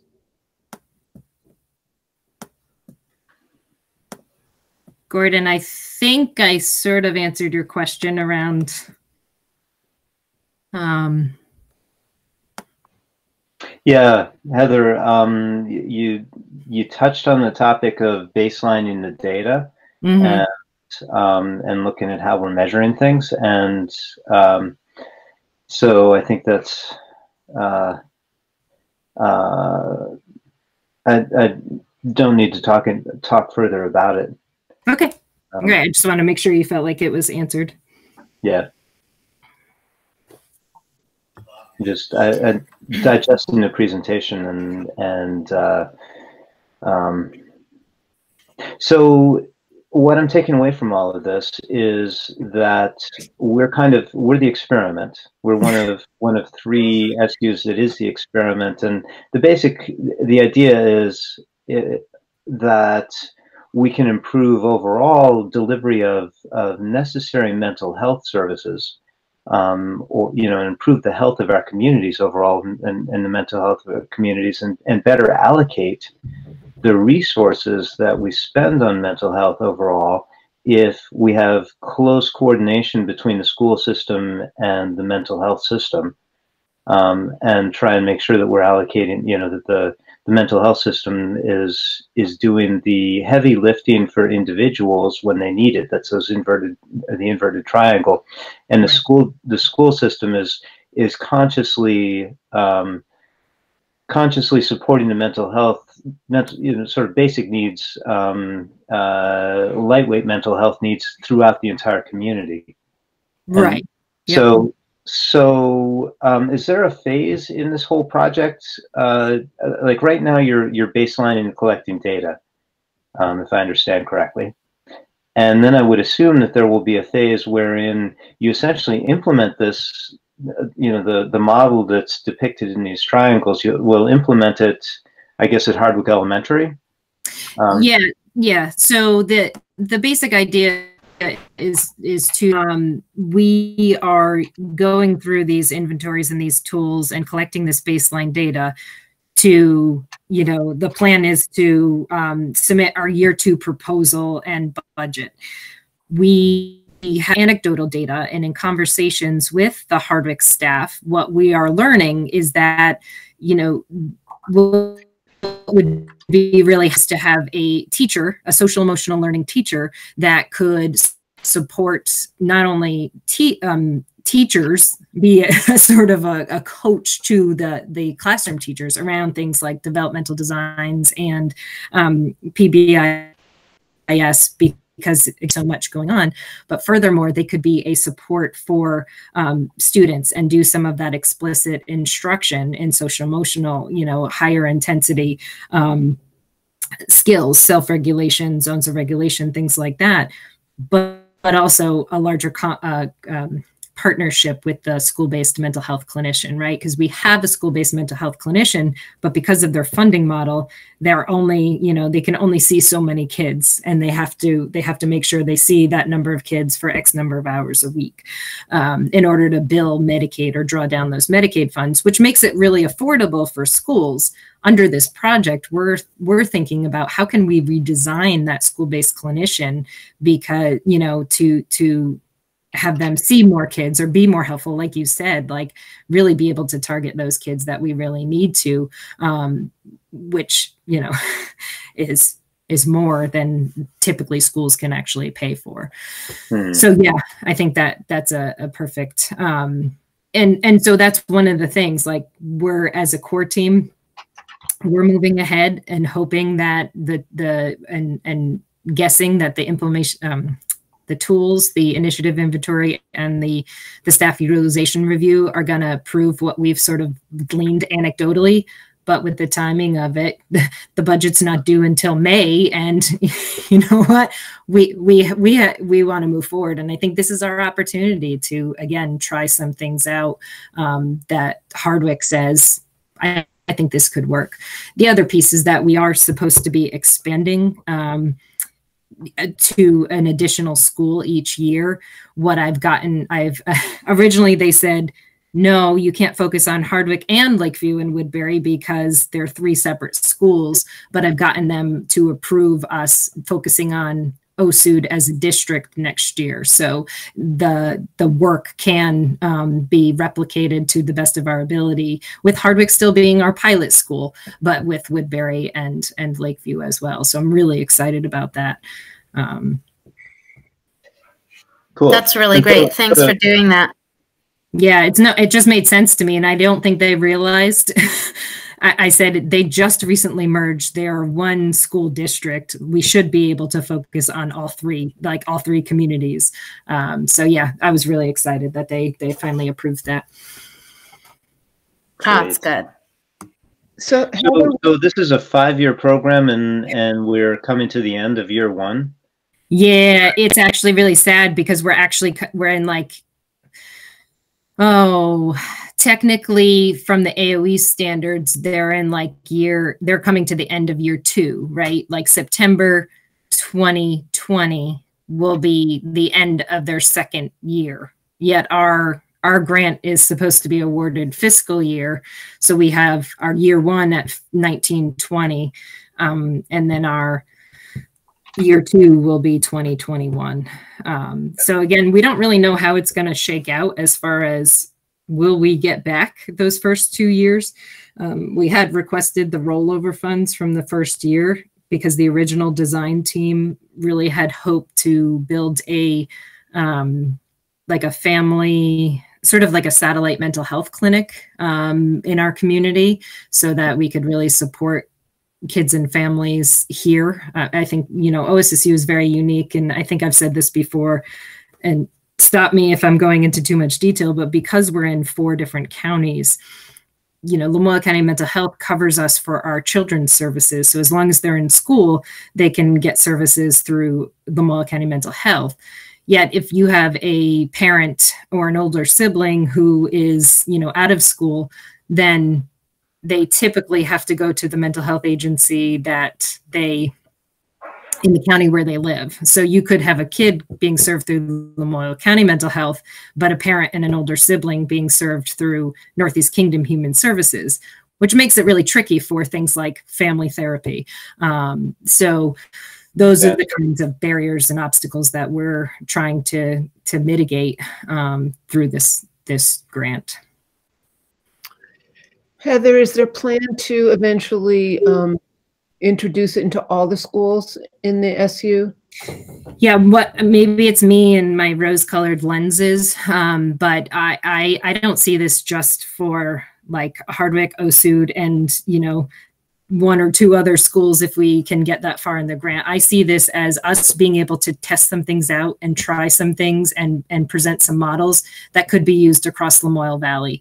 Um, I have a really close partnership with Lamoille North and Lamoille South, and my messaging to them has consistently been like, just because I'm the recipient of this grant doesn't mean I don't want to take back what, what we're doing in order to help you and your systems. Um, and we do share so many kids anyway. So yeah, my, my hope is that I guess it's always going to have to be um, individualized to the uniqueness of each school. But if we could create some sort of basic model that helps to change the funding system and can make things more efficient and better for our communities, I say that's a win-win for everybody um, in Lamoille Valley. And you know what? Maybe in in the state. I mean, I think the state is certainly hopeful that we will we will really try some new things that. Um, you know, just can make some positive change. I guess I don't want to change, you know, the entire world yet. I was just thinking about if it does well in the Osud model, will it get to Wolcott, Craftsbury, and Hazen? Yeah, I, I mean, if it doesn't, if it doesn't technically under the project aware, my my hope would be that I could have that information. And and the other piece to this is that the district community leadership team is an intentionally made up of um, stakeholders from across the SU. So I didn't want to just have Hardwick staff on the district leadership community team. I have staff from Hazen and Craftsbury and Wolcott and Woodbury and Lakeview as well. Great, thank you. Yep, no problem. Heather, yep. Um, I was. This is Catherine. I was wondering. Um, I'm sure that there has been conversation about uh, just the mental health aspect of what's currently happening, and I'm curious to know if that fits into the project aware or if it doesn't have really the flexibility to deal with sort of when we come back from this sort of the potential fallout. I mean i'm imagining that teachers uh, depending on when we come back to school uh, that there's sort of like this understanding that there will have to be some kind of like acknowledgement of what happened and processing of it and yeah but I don't know if that if that applies to this or if that's if this is like so totally separate or if it can be mm. worked into it. It absolutely applies. And uh, honestly, even before we get back right now, I mean, what the state level folks are continually um, checking in with us about is, and uh, to be honest, I just had a meeting on Friday with um, one of the state level folks about it and, and her, her, her, um, her sort of message to me was, tell us what you need. How can we use this grant to be helpful to you and your school systems right now? Because obviously we can't do exactly what the grant, you know, said it was what, what we should be doing, but we can provide that level of support now to the best of our ability and and be useful however you want. Um, so I think they're they're chomping at the bit to to reach out and, and I mean it I think that support needs to be there now. And to that effect, our grant coordinator is reaching out to Pat and um, and the teachers at Hardwick just to say, hey, you know what, this is really hard. Like this is an adjustment. What can I do to help you? And being a, a mental health clinician himself, it's a it's a it's a perfect uh, opportunity and a perfect use of his time, quite honestly, um, to to provide that level of support. So yeah, I think I I don't see that changing when we go back to school. I think we can start it now and continue it then. Great, thank you, Heather. You bet. All right. Are there any other questions for Heather? Hearing none. Thank you, Heather. Oh, no problem. Thank you for giving me the time to share. All right. David Martin, you're up. I need approval to do our tech lease.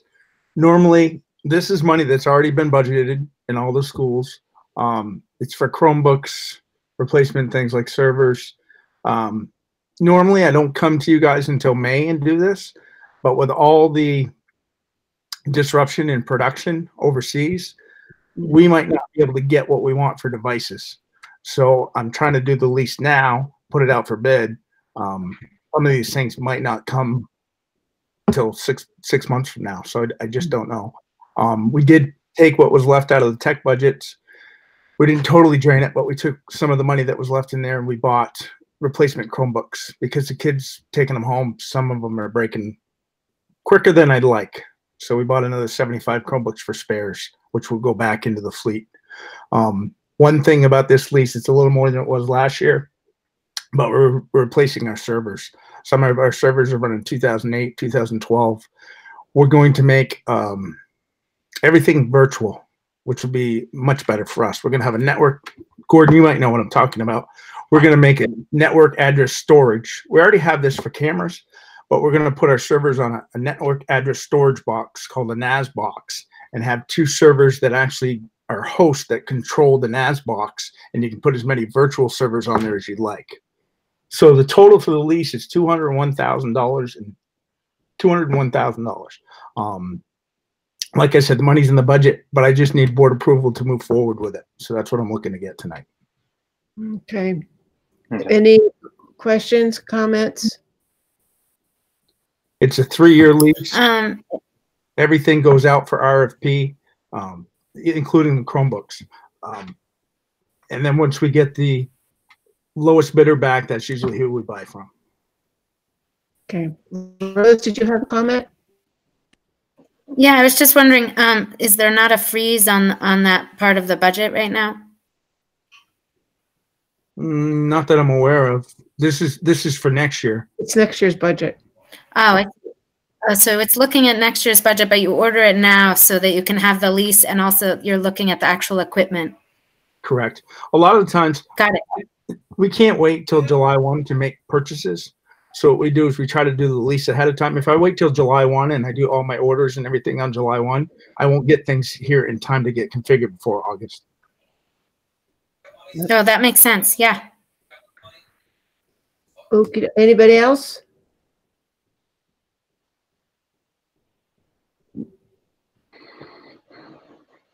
All right.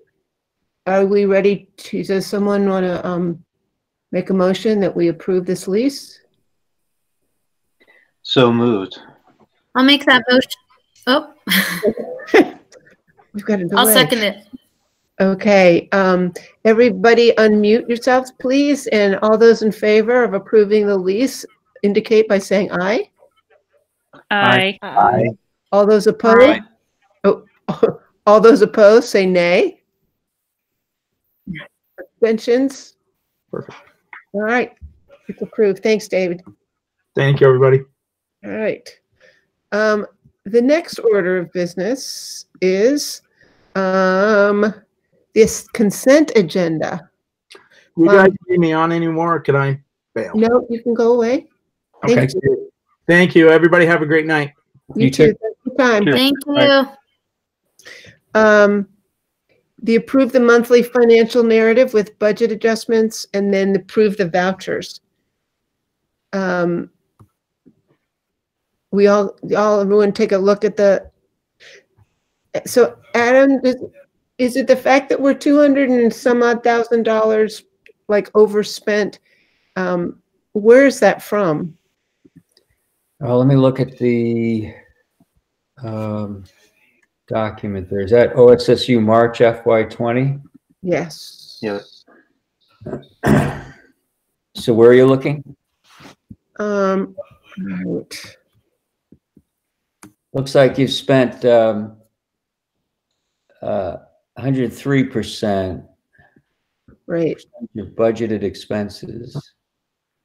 And that might because there's that might be because there's certain revenue that hasn't come in yet. Right, but our projected revenue is eight million. This is so tiny, I need to make it bigger. Um, eight million nine seven seven, and we've spent. Oh, hold on. Where was I looking? It looks like we've received 77% of our revenue. Oh, okay. 33, uh, 23 outstanding. But we spent hundred and three percent of our expenses. Right. We're three percent over. Yeah. And I'd have to ask John what, what the cause of that is. Unless he's got it in his notes. I, for some reason, I can't load anything but page one. Uh, can you see the, his notes that he puts at the end of that? Yeah. Um, I'm having trouble loading it also. So it says that we've, our net expenses is nine point two seven one. Nine million, two hundred seventy-one thousand, five hundred ninety-eight, with, with a deficit of two hundred and ninety-four thousand, four hundred and fifty-seven. Um. So, So I'm, I'm looking at his notes. He says, uh, purchase services are billed post-consumption of the services. So this will always lag in receiving of revenue, but will catch up by the end of the fiscal year. Oh, salaries for professional staff are higher than budget. This is mm-hmm. due to significant staff turnover year over year. And the staff that was secured for the, this fiscal year is more seasoned than was budgeted. right, it looks like there's, it's, um,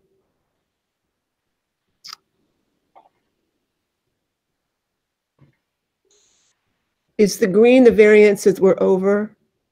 So communications, travel reimbursement, some tuition independent private schools,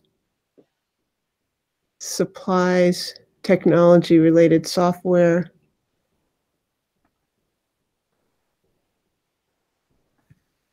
Um,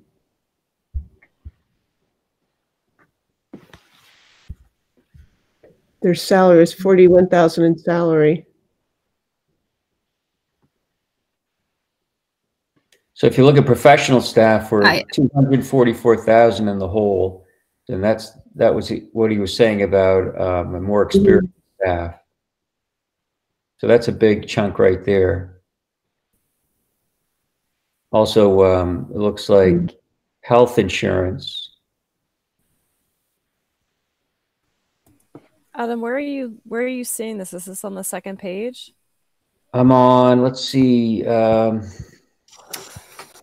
one, two, three, four, uh, five. Five is where I can see the salaries. The list of notes is on uh, page eight for Yeah. the expense notes.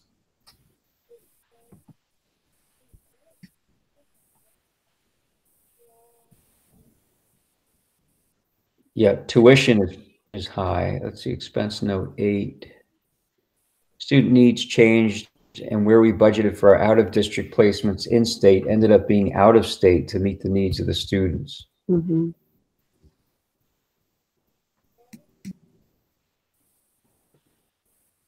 Oh, this is, we budgeted nothing and, and we've spent three hundred and eleven thousand? Is that what we're, we're looking at?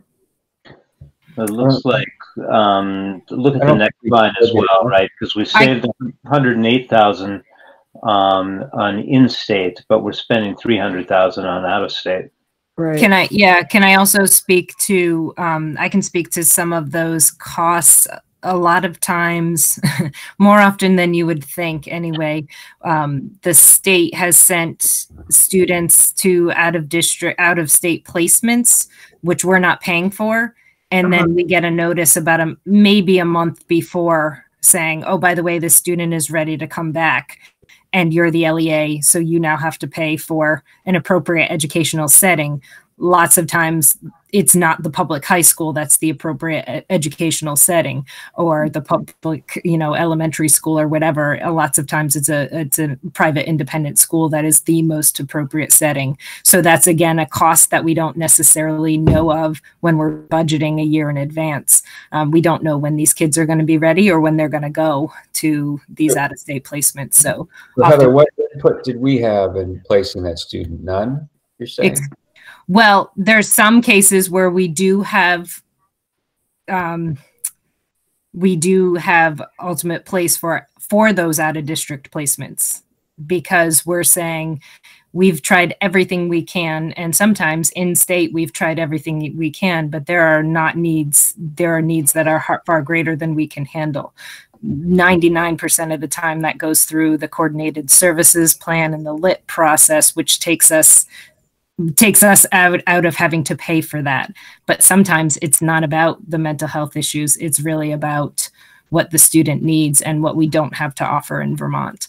Um, so it's it's hard to say um, you know but there are times where we don't have control over where where those kids will land when they come back and what we're going to be responsible for what placements. Okay.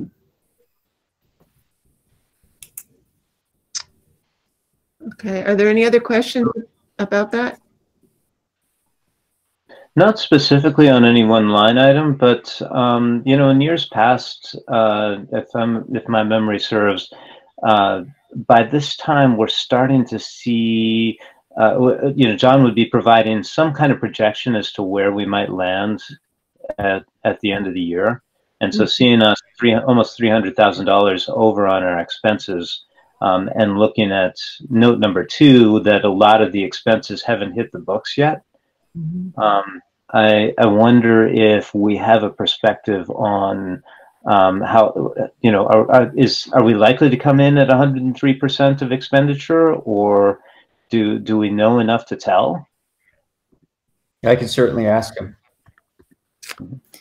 And um, I'm just sort of wondering obviously, most of the expenses are still happening during this COVID 19, but there are some expenses that just aren't hap- are there any expenses that aren't happening because of the current circumstances Um, potentially, uh, there could be, but we're, we're unsure at this point. We're keeping track of additional expenses. And the, um, I think I mentioned earlier that the state has access to federal dollars that'll enable us to spend a little more flexibly than we otherwise might. Um, and then there are additional uh, dollars that are hopefully going to be added to the um, education fund and help offset the statewide expenses for next year. And there's some big. that makes big- sense thanks Sure. Yeah, there's some big implications for the economic impact of this whole thing uh, for next budgeting season. Um, you know, vary from tax rates all the way down to um, expenses at the school level. Yeah. that makes sense hard to hard to figure it right at the moment Yeah, but I'll um, I'll ask John about his projection. in terms of of the expenses at the school level how are we I mean, I'm imagining that all of the teachers and their contract are all still getting paid. So how does that affect paras and janitors and food service workers and all of the other people that are not necessarily like teacher staff with that contract?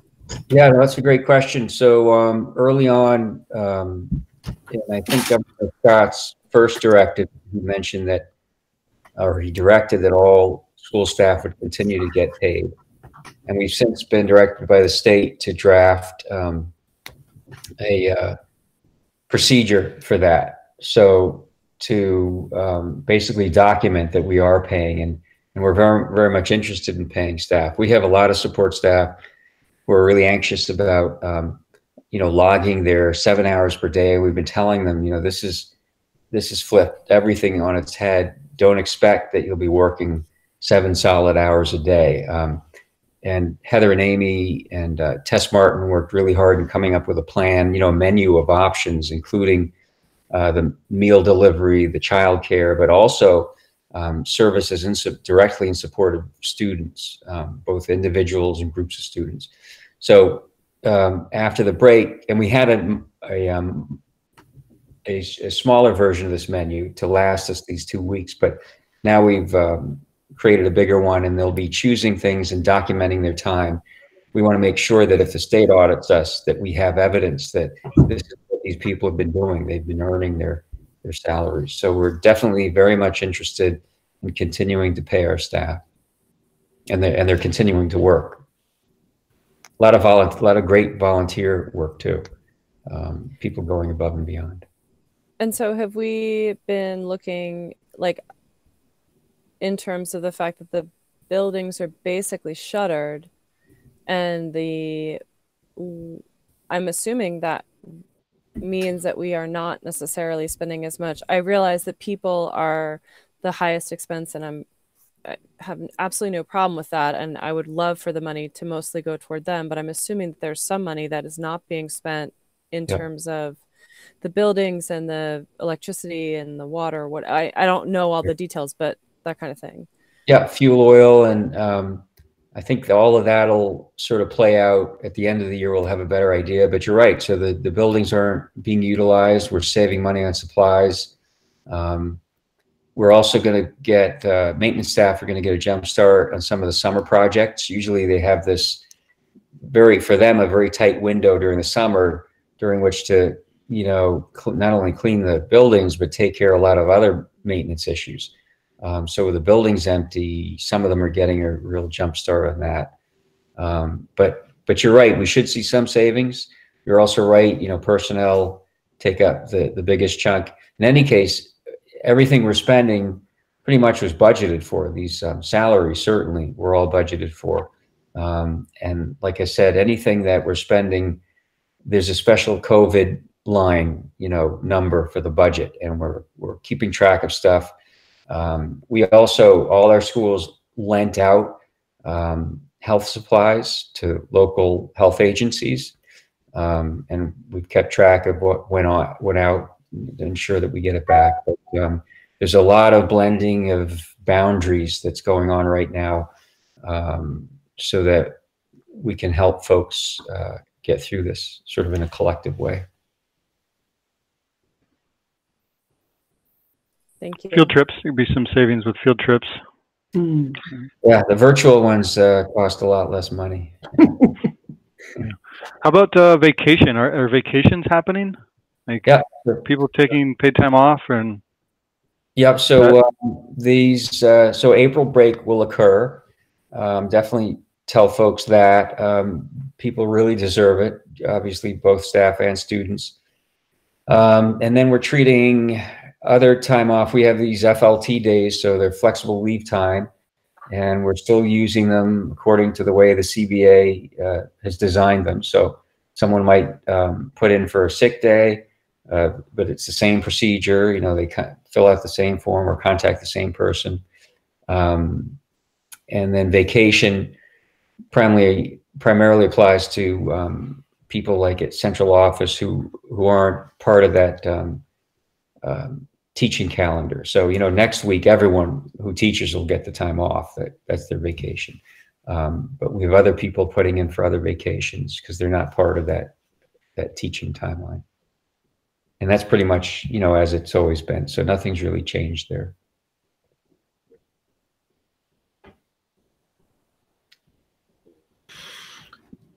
Adam, did you talk about the? I had to step out for a minute and came back while you were talking about the staffing. Did you mention the paraprofessionals and what's happening with um, their positions? Are they pretty secure? Yes. So the upshot of that uh, conversation was, yeah, we're we're uh, paying everyone according to their contract. Um, everyone's position is secure and para, uh, paras and other support staff are documenting their time so that if we're audited by the state, we have evidence that um, they've been working and they've been um, serving students.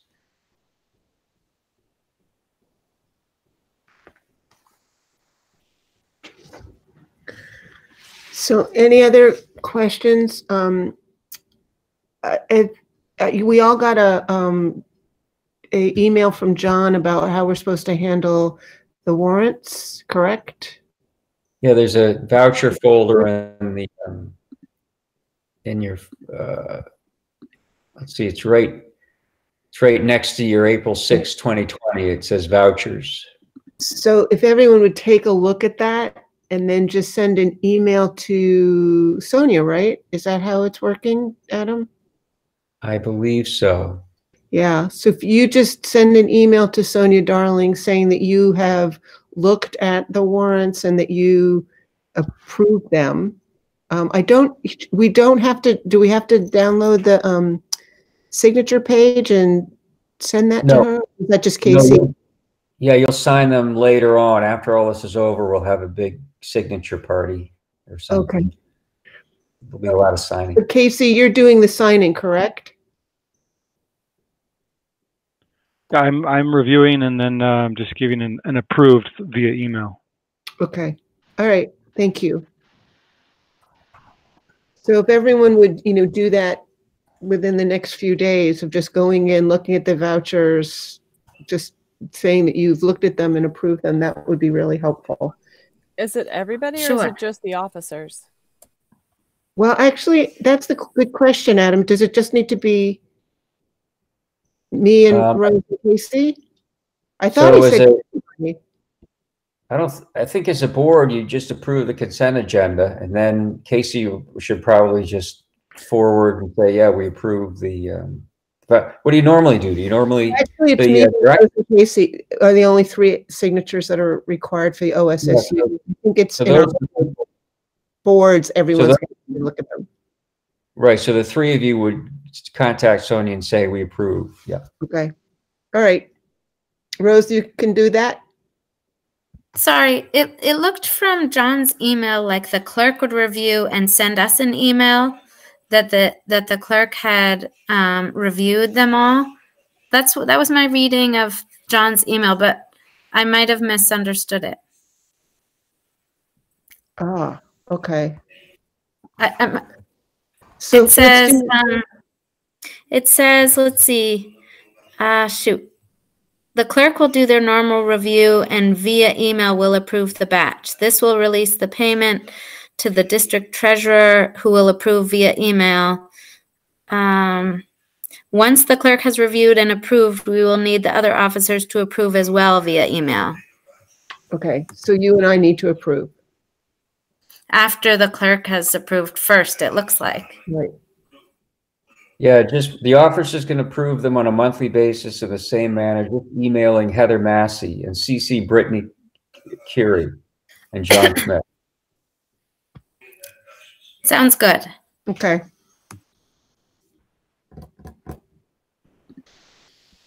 Um, all right, so do I have a motion to approve the consent agenda? I make a motion to approve the consent agenda. All right, is there a second? i'll second that All right, everybody unmute. And all in favor of approving the agenda indicate by saying aye. I, Aye. Right, Aye. um, all opposed? All abstentions? All right, this uh, agenda is, consent agenda is passed. Um, Do we have any list of future items for the agenda that you'd like to mention now? The fundraising policy? Okay. That was on last month's, uh, should be in last month's folder. Can we get it in the May folder too? Yep. Okay, I think um, next month, Catherine and I could do an update on uh, how things are going with brainstorming for the um, OSUD Elementary District, right? Because we'll have a meeting with Lakeview, a virtual meeting um, between now and then, and we've had a teacher meeting, so we could report out on that. perfect, great. That would be super fun.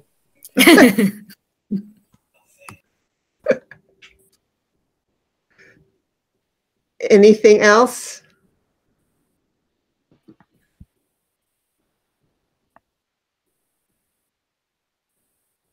Okey dokey. Um, so I'd like to put us into executive session so we can talk about negotiations, which means um, Rose, you probably need to Yeah, go away. yeah, I'll but- excuse myself from that one. I'm gonna leave the meeting if that if that's good. Yep, thank you. Okay. Thank you. I can go. Bye bye. Bye. Bye. Hardwick, Hardwick Community Television